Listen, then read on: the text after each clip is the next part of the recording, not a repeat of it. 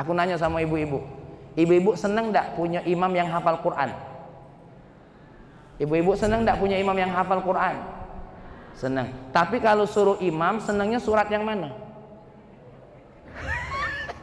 Kadang-kadang mohon maaf ini Ustadz, ya Ustadz Fuadi, Pak PJ, kita ini wah bercarian imam yang apa bagus suaranya, bagus bacaannya, hafal Quran. Tapi kalau suruh jadi imam pasti ada pesannya. Pendek-pendek bayar Ustaz. ya, jangan tulah imam tuh milih surat panjang dikit Bismillahirrahmanirrahim. Sabbih isma rabbikal a'la alladhi khalaqa fasawwa. Mulai makmum di belakang tuh. Ya, panjang nian oh, imam ini bedecak bedecuk ai dah. Imam tuh dengar Pak, singgung dia.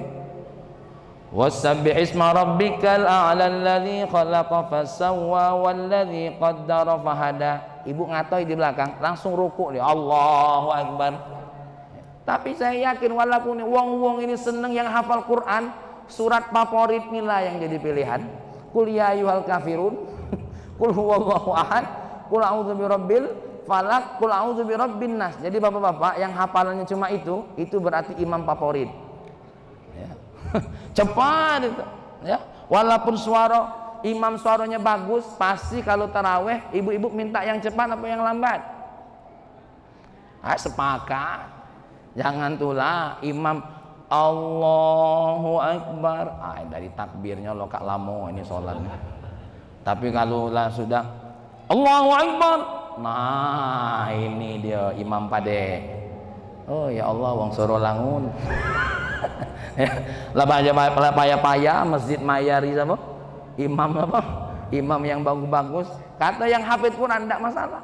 Makanya jangan heran, Pak ada yang dulu juara hafal Quran 30 juz kapan sudah jadi imam masjid hafalannya banyak hilang ngapa yang dipakai cuma empat dulu kul ya yul kafirun kul huwallahu ahad kul a'udzu birabbil falaq kul a'udzu birabbin binnas paling yang tidak lupa al a'la karena kalau jadi imam Jumat dipakai terus